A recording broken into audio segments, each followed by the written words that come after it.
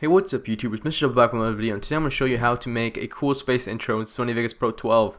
Uh, it's, it's, actually really nice looking, it's going to be really professional, so hopefully you guys enjoy this. Uh, now, I do not have the intro pre-made, it's actually going to, I'm just going to wing it. Uh, hopefully everything works out. It should take about 20 minutes, uh, so let's get started. Uh, you will need three images and they are right here. And I don't know maybe Sony Vegas might crash in the middle because I am using Windows 8 and it's not that good if you're wondering. Anyways, let's get started. Open up Sony Vegas. Bam. Uh, first things first, drag in your planet. Here, I'll show you guys the images. This is the star image that you're going to download. This is the camera blur image you're going to download. And this is the planet image you're going to download. Yep, so let's go. Open up Sony Vegas and put the planet track in the... No, here, hold on. Ugh. Okay, drag the planet down to your track, like this. Okay, uh, now right click on the planet and go to properties, and then go to maintain aspect ratio and disable resample. Uh, bam, look at that. Now go to pan cropped. You could, you could either click uh, the little square right here or right click and go to pan cropped. Bam. Let's back up a little bit. We're going to turn it on its side so that the planet is on the left side. It can be on the right side, doesn't really matter. Uh, and zoom out a little bit. Okay. Uh, Oh god, this is gonna be. Okay, hold on. Ugh, I don't know my uh, my directions right now because it's all sideways. Uh, okay, there you go. That's perfect. Hold on, I'm gonna zoom in a little bit. There, this is perfect. This is exactly how I wanted it to be. This looks nice. Uh, so if it's like this, you've done a good job. Now, what we need to do, we need to do is go to our Explore tab, stay on here, and go to the. Actually, no, never mind. I take that back. Leave it like this. Go to Media Generators, and go to Solid Color bam, and go to black and put it right underneath your image of this. Yeah. Now we're gonna take a snapshot because uh, if we don't if we don't take it, it's gonna be weird. Trust me. Uh, I know. Now just take a snapshot by clicking this. Uh, so make sure everything's stable, everything's the way you want it, and take a snapshot. Bam, and save to the desktop. Image one. We're gonna name this Planet Side One. Uh, save, and should get saved quickly. There you go, it's saved. Now delete these two tracks, you don't need them anymore. Bam. This comes up. Bam, look at that. Ooh, beautiful. Now, go back to Explore tab and go to the Starry Sky Stock by Budge. Oh no. Just drag it underneath there. And now, go back to the track for your planet and click Add. Bam, look at that. Uh, now click this, uh, the pan cropped, the pan cropped for the starry background. You could right click on it too. Let's go right click and go to pan cropped. Bam. Uh, now, as you could probably tell, is that uh, this is kind of messed up, so I'm going to go back. Right click on the right click on the starry background, go to properties, make sure you disable resample and maintain aspect ratio. Like that. Bam. Now stretched out and really taking the full screen. Now if you have a keen eye, you can probably tell that there are some stars here.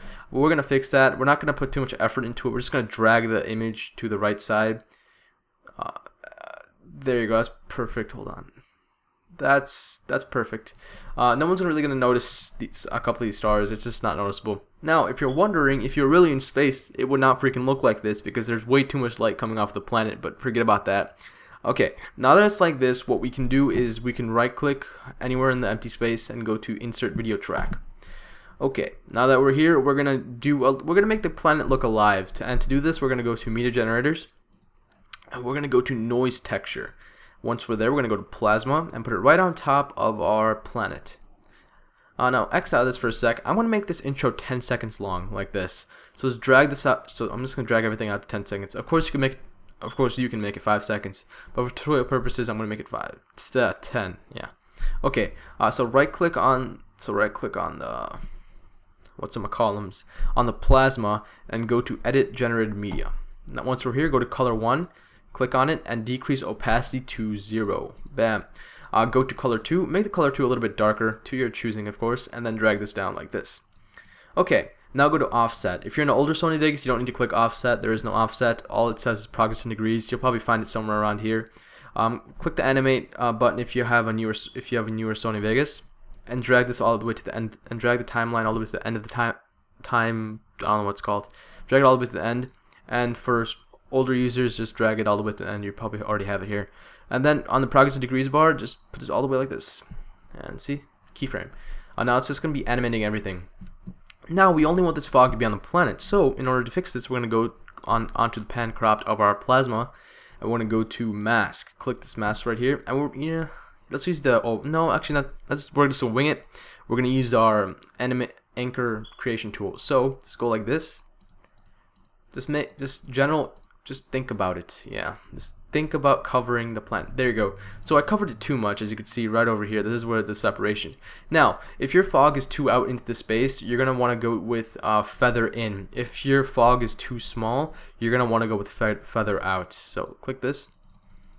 See, look perfect. Sorry for your clicking, but it comes with territory. Okay, look at this. It looks nice. This looks really nice. Okay, now what we have to do is we have to make our little logo come in. Now, uh, insert another video track by clicking anywhere in the empty space. Okay, insert text. Now you can really in, in, uh, insert whatever you want. It's really up to you. Uh,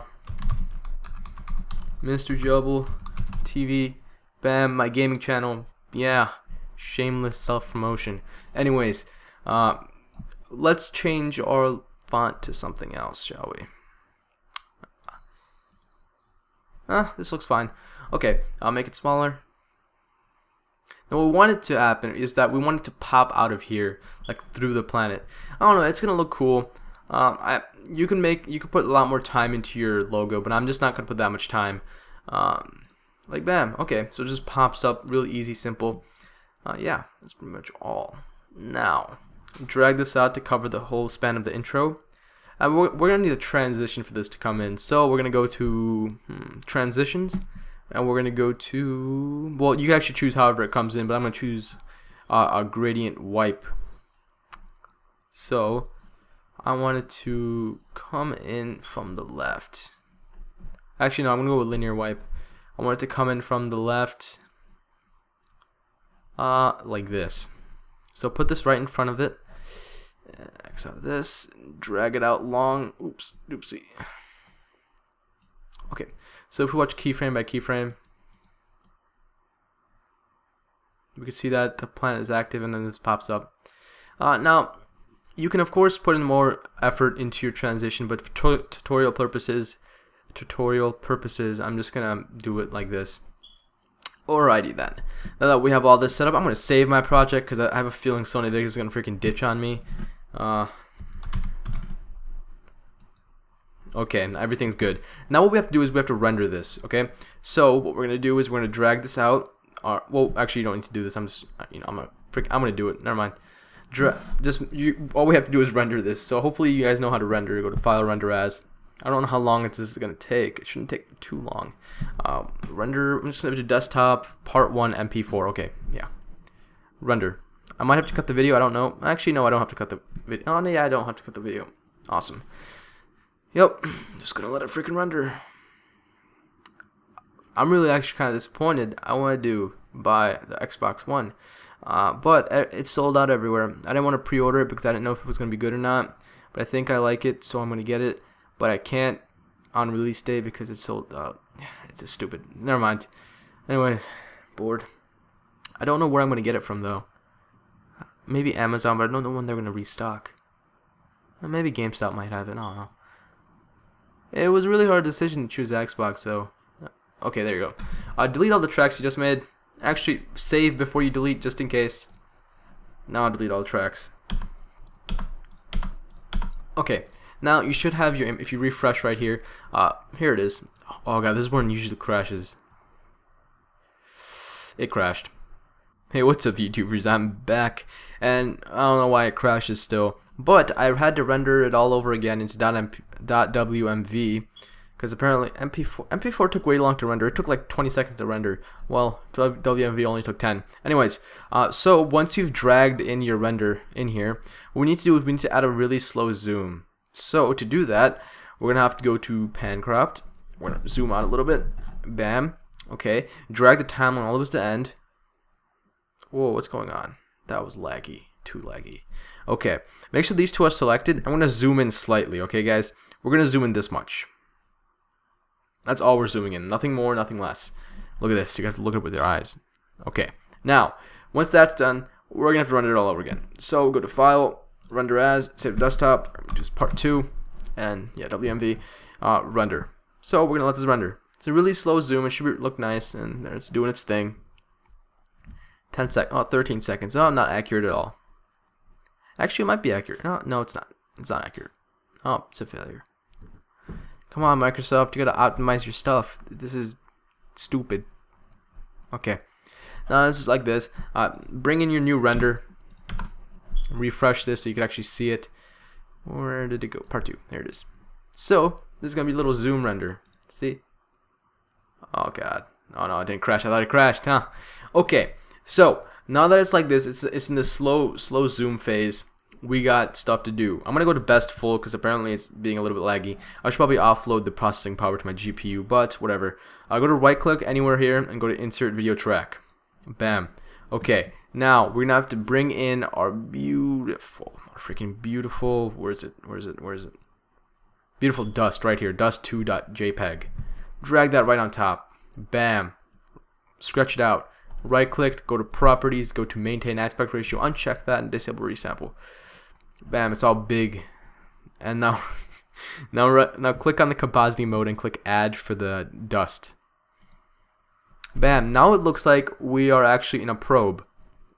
It looks it looks cool, trust me.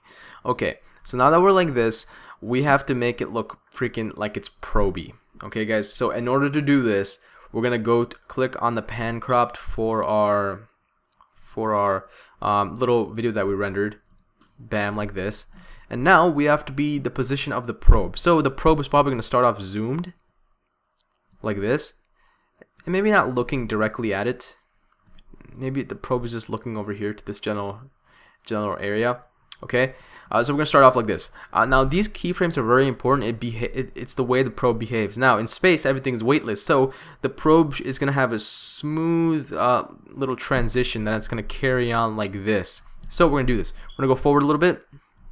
We're gonna go up like this. We're gonna zoom out a little bit.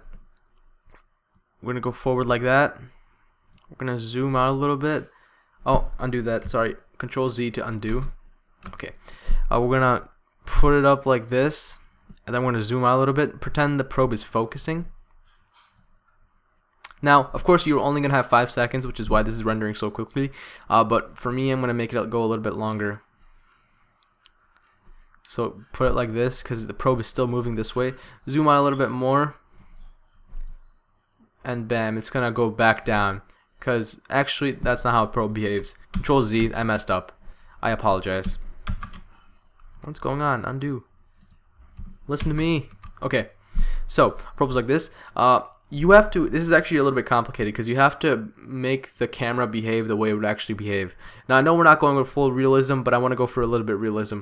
Uh, and the camera motion is really important to do this. So, we're going to keep on moving in this angle. Forward a little bit. We're going to zoom in back, we're going to zoom back in on the text. Oh, look at this. Oh, it's a probe. So freaking awesome.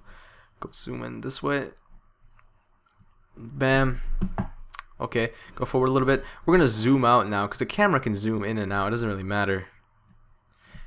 And we're going to freaking make it go this way a little bit. So you have to make the camera behave like it would actually behave in space.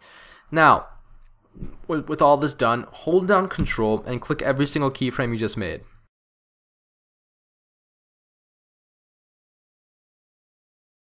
Uh, okay, there you go. Now, once everything is selected, you let go of control and right click on one of them and go to smooth. This is going to give everything a little smooth transition. So, if we watch this now, I'm going to go keyframe by keyframe because it's very important. We see that it goes into zoom and then it zooms out and we could see this and we focus in on it a little bit like that and and then we zoom out a little bit like oh look at that we're in space this is so cool. You can add more camera shake but for me I'm gonna add a little bit of camera shake. So yeah that's how it looks for me. Uh, now what we want to do is gonna look very cool. We're gonna zoom in a little bit. And before the text starts actually no half the okay hold on. Through this range we're gonna we're gonna make the camera blur. So have your video selected. Have your video selected and click S whenever you want the, the camera to really focus in so I'm going to click S right here because this is the time I want the camera to focus in. Actually, no. Control Z. I want the camera to focus in when it's completed, when this transition is completed, which is not. Uh, let's see when. It, oh, hold on. Okay, this is one that transition is completed. So I'm going to click S. I'm going to go to video effects. I'm going to go to defocus. Okay, so click on this. Uh, circular. Now you can choose the type of zoom you want. I'm going to go with this because this is how most camera lenses look. Okay, so this looks really cool, right? Uh, go to radius. I'm going to lower the radius a little bit. This is perfect. Uh, now go to the animate button. If you're on an older Sony Vegas, um, this will already be here. But drag the timeline all the way to the end. And then the radius. The radius you're going to slowly decrease. Well, actually, I take that back. We're going to have our focus as being erratic. Uh, so let's go to this second mark. We're going to zoom out a little bit more. Go forward a little bit. We're going to zoom really low. Go forward a little bit more. We're going to zoom a lot. Because just imagine the camera is fluctuating. We're to zoom less, you know, just a little bit of randomness. To zoom a lot more. Okay, now we're, now it's to go on a decreasing slope. A little pop here. And then, bam, perfectness. Now, if we, I'm to save this right now because I have a feeling it's to crash. Save. Okay, so now if we watch this, uh, watch this. Oh, look at this. It's a camera focusing. See, it looks like a freaking probe. Am I right? It looks very cool. Okay, well, that's pretty much all for this tutorial. I hope you guys enjoyed. I, I think it looks really nice. Um, and, you know, if you do too, leave a comment or something. Leave a like, though. That's really helpful. And, yeah, thank you guys for watching. I think I did this in less than 20 minutes. I'm not freaking sure, but I think I did. Anyways, thank you guys for watching, and goodbye.